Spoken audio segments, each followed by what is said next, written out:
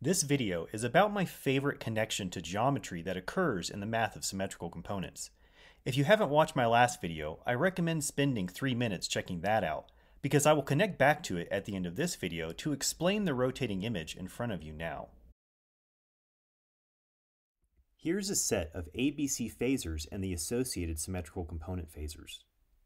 I'll increase the negative sequence to 1 half with positive sequence equal to 1, and I'll overlay the sequence reconstructions of the phasors to help with the visuals here. Tracing the path of the phasors as I rotate the negative sequence 360 degrees creates three circles of the same size as the negative sequence circle. And likewise, the same thing happens as I rotate the positive sequence phasor around. I'll remove the B and C phase circles now just to make this image less busy. The negative sequence circle has an area of pi v2 squared.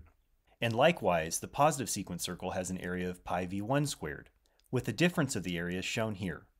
It may not seem important to show these areas now, but I'll be coming back to this soon.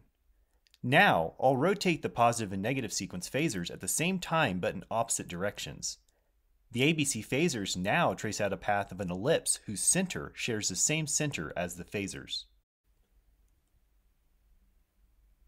This ellipse is known as the Steiner ellipse and was discovered by the mathematician Jacob Steiner who lived in the 1800s.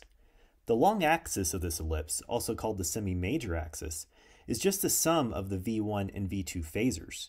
And the short axis, also called the semi-minor axis, is just the difference of the V1 and V2 phasors.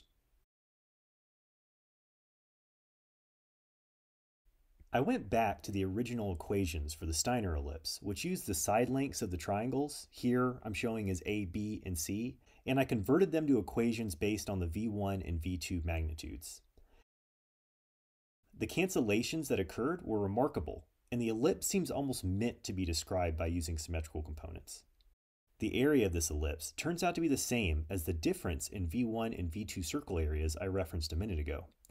The eccentricity of the ellipse, which is a measure of how curved it is, is a great way to measure imbalance in the three-phase system.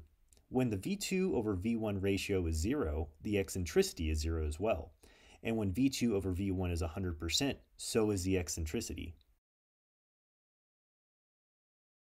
For low values of V2 over V1, for example from 0 to 10%, the eccentricity ranges from 0 to 57%. This provides a higher resolution look in the region of unbalance that's usually of most concern when controlling unbalance. This measure of unbalance is also independent of the angle between V2 and V1.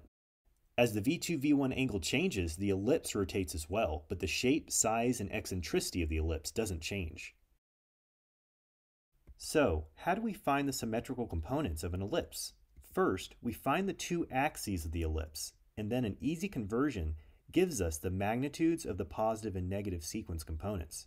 And consequentially, we can construct all ABC phasors that fit within the ellipse for any angle between V2 and V1.